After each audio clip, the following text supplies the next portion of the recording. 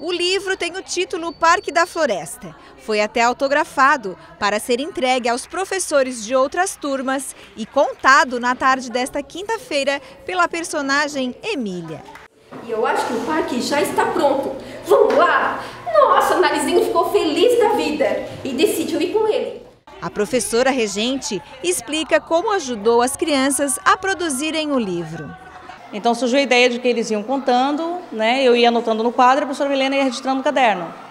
Depois de todo esse trabalho de organização, né, de parágrafos, pontuação, tudo que tem que né, ficar bem certinho.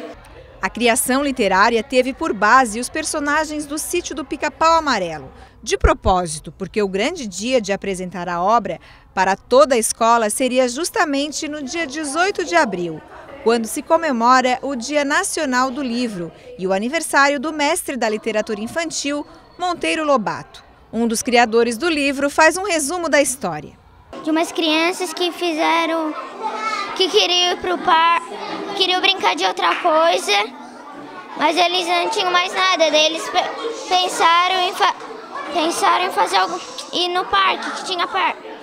Daí lá acontece muito, muitas coisas, ficou atrapalhando eles. E à medida que eles fazem os seus próprios, é, as suas próprias histórias, a, fica mais interessante. E para se desenvolver com mais, é, com mais eficiência o aluno, com mais aprendizagem, tem que haver a leitura em primeiro lugar.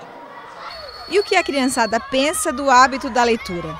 Muito bom ler livro. Acho importante ler. Ah, porque gosto. Porque, nossa. Tu acha importante ler livro? Acho, é muito legal. Pode fazer um monte de coisas com livros.